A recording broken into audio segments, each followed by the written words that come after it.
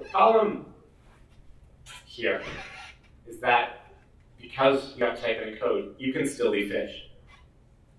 And we've known for a long time that SMS is a bad method for delivering codes. And this has been covered pretty extensively in the press. And we've been talking about it for years, and people are still doing it. And there's a US government agency called NIST, the National Institute of Standards and Technology, and they issue recommendations on all kinds of things. And you think of them as weights and measures, like, am I really getting a gallon of gas when I go to the gas station and pay for this? And when I put a pound of food on the scale, a scale at the Whole Foods, is it a pound of food? But they also regulate a lot of technology things. And they issue these really interesting sounding bulletins like NIST Special Publication 800-63B, the Digital Identity Guidelines. And if you look in there, you find this, and it says, User use of the PSTN for out-of-band verification is restricted.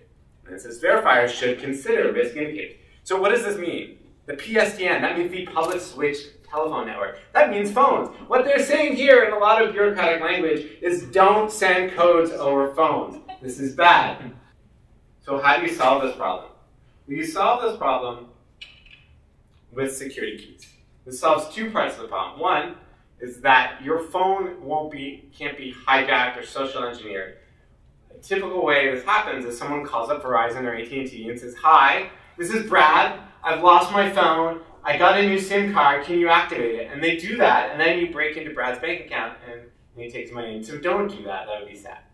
Um, the other thing that can happen is even if you aren't using SMS-based authentication, you can still be tricked by a clever attacker to type your six-digit code from your authenticator app or from your push notification into their website, and then they'll type it into the real website, and then they'll get into your account.